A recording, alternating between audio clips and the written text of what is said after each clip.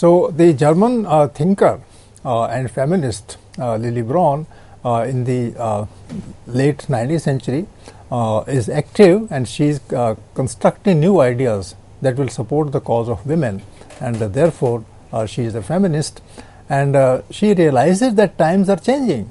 it is not the medieval period now in the 19th century. Uh, it is not uh, e even the capitalist period in that sense because capitalism also is showing its teeth and is becoming uh, you know is, is being criticized by, by certain sections of society uh, at that time.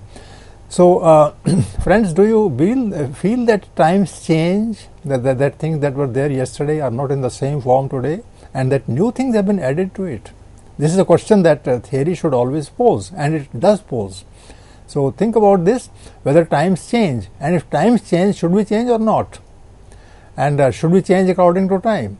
Now that I am using a new word when you change according to your time when I change according to my time then I am adapting myself to the new challenge.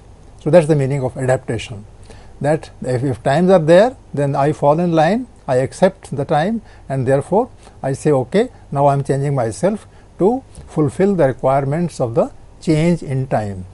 So I am adapting to the time. But I am posing another question, and, and this question I am not posing myself. This question is being, being posed by uh, Lily Braun uh, in this essay, and she says, Can the opposite happen? Instead of you saying or I saying that uh, we should ad- adapt to the time, adjust to the time, can't we say that time should also adjust to us? This, this is the question, and, and uh, let, let me read the quotation from her. Its main principle is the adaptation of work conditions to the nature of women. Because she says, why should only women adapt? Why not uh, the, the, work also adapt according to the requirements of women? Not the adaptation of women to given work conditions. This has become more and more pre- prevalent in the contemporary women's movement. Now women say, okay, we will change according to time, but time also should change according to our requirements. And when they say our requirements, then what they mean is women that you know women uh, do not play the same kind of role that men do. Women run the household. Women have to uh, start in, in, in the morning, but before that they have to prepare for the entire day and prepare for the services uh, you know that that that they, that they give to the male counterparts at home and outside. So uh, the, the, world should also adapt to us. They say, they say, and this is a progressive idea. This is a new idea. This is a modern idea, and this is a very useful idea, very appealing because people can say, I require this from life, why not life uh, uh, would, would give this thing to me? And it's a question, and uh, most of us don't understand the question because we, we still uh, remain in the old mode. The new mode is that yes, uh, there are certain things that you have to observe as, as compulsions of life, but then life also should understand that they are dealing with men and women. And if they, they are dealing with women, then there are certain problems of, of women which men don't have. So, the factory, the, the place of work, uh, wherever uh, the, the woman works, then that place of work also has to find out what women require. And when this kind of question arose, then it must have in fact uh, caused raising of eyebrows. How can women say that time should adjust to them? And then, then they, they would say, okay, if you don't do that, then we will, we will protest.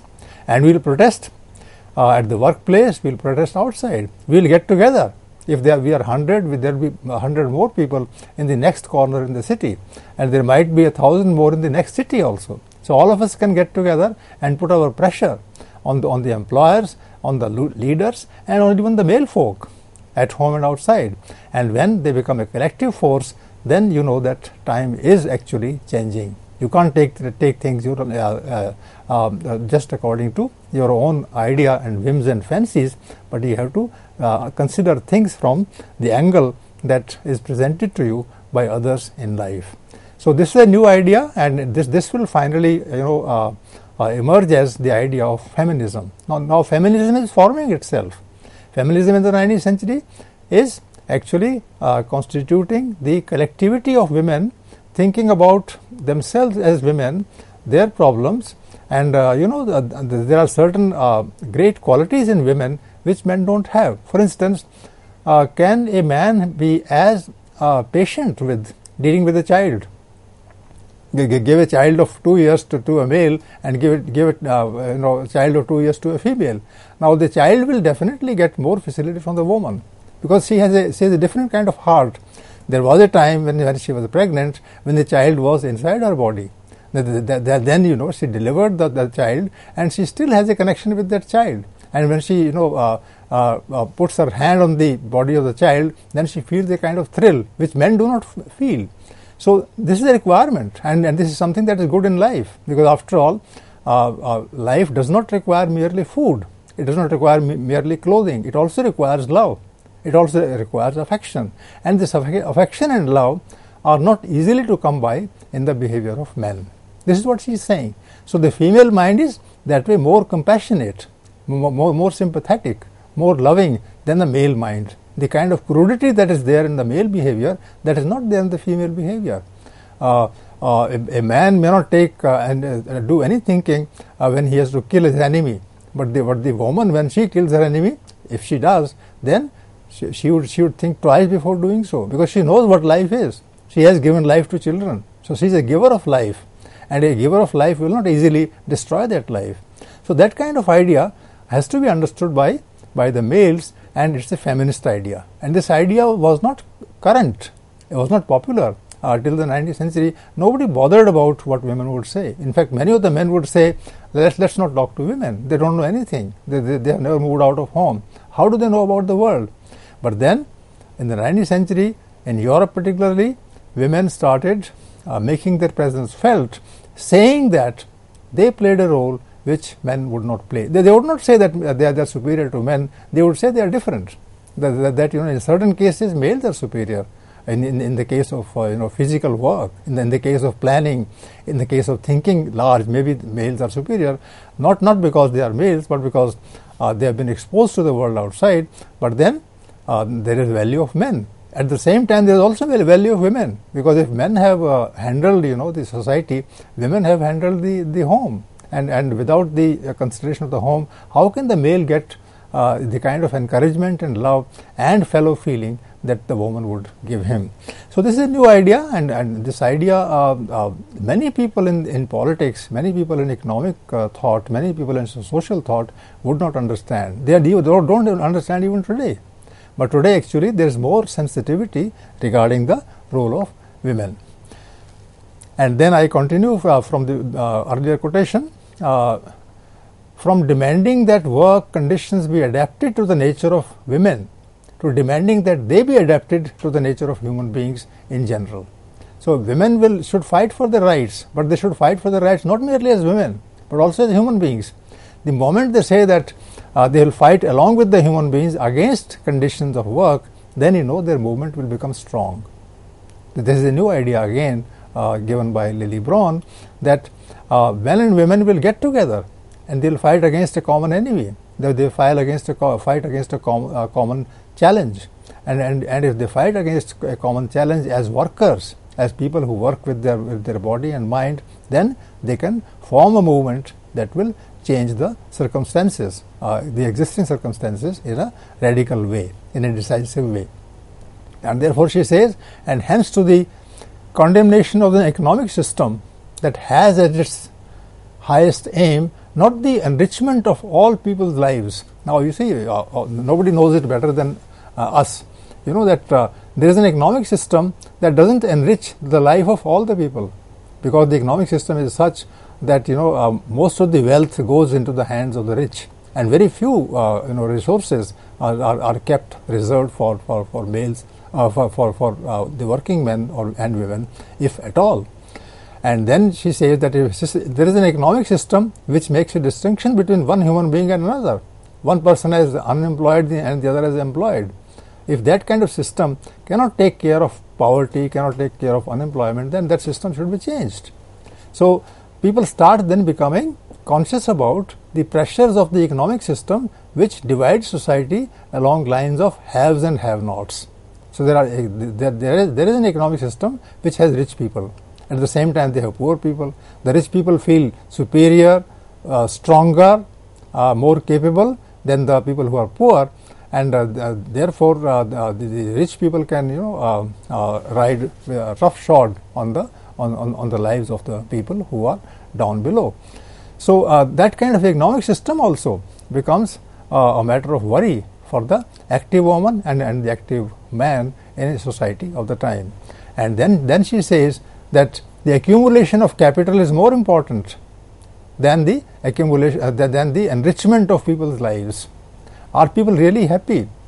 Uh, the happiness is important. Uh, these days, there, there is a con concept, and uh, imagine that uh, this woman who died in 1916, uh, more than 100 years ago, she was able to talk in these terms. Today, we, we, we talk about this that yes, hunger should be taken care of, people should be given bread, but more important than, than getting a bread also is happiness. So, do, do we ever talk about happiness in life? Are people happy? So, this is a question that, that she is raising uh, 100 years ago and more uh, in her essays that uh, enrichment of all people's lives. So, people's lives should be enriched. And how can people people's lives be enriched? Well, uh, I can explain a, a, little by saying that if you uh, enjoy working together, if in the evening you, you enjoy uh, talking together, if, if, in the, if, you, if you enjoy writing uh, stories and uh, poetry and writing plays, if you enjoy reading poetry, uh, reading short stories and plays, if you also play a part in, the, in a play, that is enjoyment. So, that kind of life is the enriched life and the life that uh, the, the, life that has all the facilities but no enrichment which doesn't uh, make human beings better than before and uh, nobody wants to talk to you because you are rich, then it is, it is useless to be rich. The, the, the, the best possible uh, circumstance in which all human beings can be made happy is that people want to talk to you and that you want to talk to people. If you do not, do not relate to people that way, so this is a new idea and the feminists also had not thought very clearly about those ideas uh, in her time and in fact many of them even now do not know that happiness is something that is more important. Enrichment of life is something that is more important. So this is the point and uh, consider it uh, because it's a new idea. It's not idea about uh, you know uh, any faith. It's not idea about religion. It's, we are not discussing god at all here. We, we are discussing a society which is of peace a society which requires happiness as one of its main uh, qualities Female personalities, she says, to flourish who can be placed next to leading men, not as equals in kind, but as equals in worth. That is important. Equals in kind you can be. Eh, there can be a job in which the, the man and the woman get the same salary. But is woman getting as much importance and uh, as, as much value as a man does? Worth is important, not merely equality. So this, uh, you know, uh, uh, feminism generally talks about uh, the rights of women, which is all right. But rights of women along with the worth that people should see in you as a woman. And, and they don't see that worth. Uh, nobody, you know, uh, would give equal uh, importance to uh, a wife, a sister, uh, or, or, a daughter than, than, than a son, a husband, or, or, or, or, a, or a child otherwise. So, equal in kind is fine. But more important is that all human beings are equal in worth. So if somebody uh, you know uh, is, is, uh, lives in a village and another person lives in a town and, and the third person lives in a, a, city, then their worths don't change. There can be good people in the villages. There can be bad people in the cities. So just say that urban people are good and uh, villagers are bad is, is, is, a backward idea. The, the, the idea is that one should not be judged by where one lives, where one works. One should one should be judged by what is the worth of the man. Uh, uh, uh, in, in, in, my active life, I would always saw, you know, in, the college where I taught, that the, the, college community, particularly of workers, were divided into four classes. The, the, the, first and the highest class was teachers. The, the second uh, was, was, the, was the clerks. The, the, third was the, the, peons. And uh, peons sometimes were called the fourth class. So, what kind of uh, useless talk we have? Uh, in, a, in, a, in, a, college in, in, in, modern India, where you know some people are second class, some, some people are fourth class. And, and what is the fourth class? People you know who, who sweep the floor. How? What about their worth? Their worth. Some of them might be still better than, than, than all the teachers, but then nobody thinks about it. And the same is hold, held true in the case of uh, you know treatment towards women. Uh, an employer may not have any worth, but the employer has money. So, so money is the worth, but uh, considering that money is the worth, then of course you cannot discuss anything important uh, under that category. Women are, she says, unconsciously guided by compassion. Now, this unconscious part is very good. They, they, they, they feel very, uh, they, they have a sense of, uh, you know, uh, sympathy and love for, for others. And the wish to care for others, which, which men don't have. Uh, very, very few men would like to share their secrets with their friends, but, but women uh, uh, share their secrets quite easily. Because they have they think that you know that, that, they are placed in the same category in which other women are also placed. Even when society is treating them differently so they they they uh, they uh, so far as giving care to concern is, uh, is concerned then women uh, would score better. For centuries she says the teaching and nursing professions have represented the two main aspects of motherliness. So a woman is a mother. That, that's the basic part. A woman is a potential mother or an actual mother. And, and she has this quality of mothering uh, which which males do not have. Even even a small child, even even even a girl of ten, you know, has has th- those qualities of of becoming a mother later because she she treats her younger children, her, her younger uh, brothers and sisters with the same kind of care that that, that her mother gave her. So this motherliness is, is, a, is a quality that is there inherent in uh, all, all the women, young or old, and education and the caring one so, um, what uh, in, in society, uh, where, where, do we find women working? That's, that's the question that, that we can pose ourselves, uh, pose to ourselves. And we, we find that all the schools have women teachers. Is teaching better than uh, uh, fighting in the in, in, the battlefield? That, that, that's a question that, that should be asked because women are made for teaching. Women are made for uh, being in company with, with, the, with the younger lot, and, and they, they have that kind of patience. The, the person in the battlefield may not have that kind of patience. He's, uh, perhaps patience is not even required for his profession. But, but so far as teaching is concerned, it's a very hard job. Uh, to, to, uh, to a person who doesn't understand, you can't talk properly. So if there is a class where you know the, there are people uh, uh, who, who present a problem, then the teacher has to change his methods and modes of teaching. And that changing methods and mode of teaching makes you a very humble person. Therefore, the, the humble uh, uh, profession of teaching is very uh useful for making a woman flower in her life. So, teaching and nursing. Now, most of the nurses in the hospitals, they, they, they are women. They can't be. There are certain male nurses also because after all, it, uh, in a poor society, everybody wants a job. And if a nursing job is available to a male, he also will become a male nurse. But then, if you go by the inclinations, if you go by the by the uh, you know uh, the, the, idea of offering a service naturally, then you know teaching and nursing generally fall uh, under the category of women's work, and that shows you know that teaching and uh, nursing are very close to being a mother. Uh, because because because a, a, female teacher always consider uh, the, the, the, student always consider the teacher the, the students as as, as our kith and kin if not our sons and daughters. And the same is true about the nursing. The nursing uh, for, for, for, a person who nurses you you, you are a patient you, you have certain uh, you know physical problems so the nurse will come and, and she will give you medicines and not merely medicines she will also give you a touch and that touch will be a touch of love that that will be a touch of sympathy. And when the, when the nurse comes and gives you medicine, and you are feeling it hard to breathe, and then she gives you a medicine and you start breathing, then you think that uh, some kind of a you know deity has entered the room and has changed your life uh, in, in that sense. So uh, she says that one should try to understand why women become teachers and why they become nurses. They become teachers and nurses because they are capable of becoming mothers.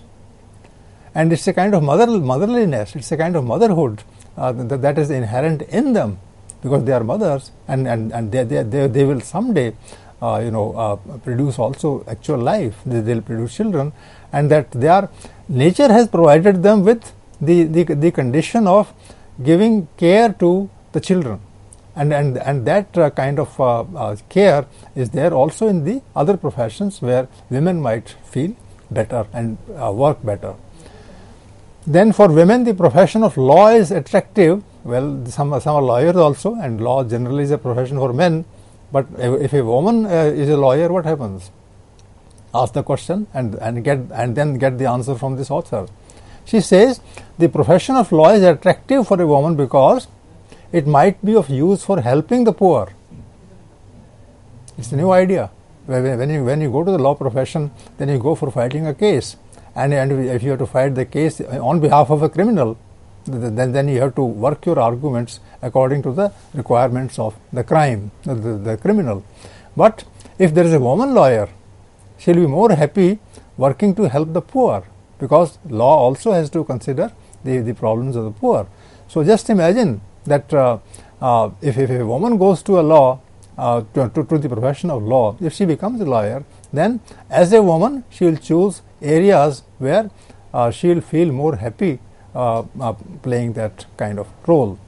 she, if, if the, the legal um, personality has to fight the case of injustice, which is justice is very important in society. If uh, you have to fight the case of injustice, then you will find a woman more amenable to playing a positive role there than the male. So even even even even the law becomes then in that case feminized. Uh, it also becomes as soft as a woman. So one this is one example. then the other example, likewise, the pulpit. Pulpit is preaching, religious preaching. Pulpit is chosen for the reason by a woman. The woman's heart might be filled with sermons about Christian neighborly love. What is the basic teaching of Christianity? That you love your neighbor. Christians don't love their neighbors in, in, in actual life. They, they, can be as cruel, they can be as insensitive as, as, as members of any other religion. But if women, you know, become uh, preachers, then they will be preachers because they, they, they, they will represent the true Christianity in their behavior. The third example, besides medicine, the field and uh, field most cho- often chosen by women today is the study of economics. They also study economics. They also become economic scholars. They also get Nobel prizes sometimes. And within this study, within the economic study, problems of social reform interest them the most. Economic study simply doesn't mean, uh, you know, uh, giving ideas to the rich people to uh, add to their profits. Econo- uh, economics also means that uh, reform in society is needed. That you know some kind of equality is to be maintained uh, between the incomes of the rich and the poor. So economic thought also can be that way sweetened and, and softened by the uh, contribution of the women uh, scholars. Of the couple, uh, now she talks about you know two thinkers in the 19th century England. Uh, Sidney was a, was, was a male and uh, Beatrice was a female. They, they married each other and they started working uh, in, in society as scholars. And she says that Sidney was, was a great scholar, but Beatrice Webb uh, was had more appeal as a scholar because she, uh, uh, you know, uh, earned respect of the people. She was uh, much more loving than her husband with respect to the clients. So the latter's work in the cooperative movement is outstanding. Sidney was uh, talking about economic problems from a different angle, but when when it came to the wife, Beatrice Webb, then she started taking interest in the cooperative movement. Cooperative movement means you allow more and more people to come and join in the economic activity and then the control is not in the in the hands of one person but in the hands of in fact all the people together so uh, the cooperative movement is a movement where everybody is the owner of the resources the, in India, this, this kind of a thing was there in the 1950s and 60s. The cooperative movement was very strong, and uh, maybe Beatrice Webb would have given ideas in the late 19th century that you know cooperative movements occurred all over the world. And a cooperative movement is a movement that is very humanistic, very democratic, because it, it doesn't uh, uh, make a difference between a worker and, a, and, and an employer. Everybody is a worker in, in, in, the cooperative movement. And she gives the example of Beatrice Webb. She, uh, in fact, uh, you know, put up the, the uh, structure of uh, the cooperative movement in England in the early 20th century. Education, medicine, social policy, theology, these are the things that she has discussed. Indeed, even the law, and uh, already I have talked about it, all enlist the emotive side of female nature. That's, that's, that's a good phrase. What is the emotive side of female nature? Emotive means emotional. So uh, you will not find emotional uh, attitude in the case of the male workers, and uh, you know uh, that that's why you know we value women worker uh, workers better because they, they also they, they, might start crying, they might start laughing, they might start enjoying. They enjoy humor better than men, and, and they are not as serious. Uh, serious in the in, in the wrong sense, you know that you always have, have, have arrogance and you know annoyance on your face. So women uh, uh, have that emotive side of female nature. Even if her sexual urge is to remain unsatisfied, at least the energy of her maternal instincts can become active in caring for others. And you know now, now the last part, last point will be uh, discussed by her much more seriously. That you know we generally think, and uh, even relig- in, in religion and other policies, people think the same way that uh, sexuality, that erotic love, that love is bad, that that uh, love is wrong. But is that actually true? So uh, she she is taking it up very seriously, and she says that women have in fact brought eroticism under a new perspective, and and, and this perspective you know makes life more enjoyable. So why don't why why doesn't one take as much pleasure uh, in the company of a male and a female uh, together as one makes uh, has in, in, in the company of all males or all females? Because uh, pleasure, the, the, pleasure principle uh, actually radicalizes, uh, it, it changes, it, it revolutionizes the, the, the, field of religion. In, in, religion also, in, in poetry, in, in, in literature also, sexuality can be asserted uh, can be made uh, can be made a category uh, which is very inspiring and appealing, and that this should be recognized. So this is the last point that, that, that I would make regarding you know considering uh, the body, uh, considering sex, consider, considering uh, you know uh, the, the, pleasure from uh, the company of the male and female as enjoyable as possible. Why not? If there's no pressure of any kind uh, in the relationship of a male and a female, and if both of them agree, and the, then they want to create a, a, sense of pleasure between themselves. What is wrong in that? In fact, that is much that will make society much better than a society where women are always asked to remain away from men and men are asked to remain away from women. And that's an old idea. That was all right in, in, the in the medieval period. But in the modern period men and women both are human beings and they also create uh, a situation in which uh, emotional love sexual love physical love can be equally valuable. So these are the ideas that uh, um, uh Lily Braun in the uh, uh, early 20th century propagated and uh, those ideas were not uh, uh, at that point of time existent. They, they, they became they, they, came up later, and even today we face certain problems, but the answers to those problems have been already thought of by this great humanist, this great socialist, uh, this, this, great intellectual that Germany produced in the second half of the 19th century and the first half of the 19, uh, first half uh, first quarter of the 20th uh, century when she was active as a propagator of ideas. So I'm sure that uh, this introduction um, of uh, uh, of this person to us gives us a new perspective on the behavior of men and women in society and the affirmative and, and the inspiring role that a woman can play under the feminist movement.